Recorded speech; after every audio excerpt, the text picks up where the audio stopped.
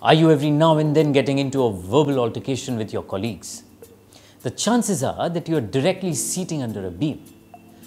To avoid this problem, change your seating or blunt the edges of the beam.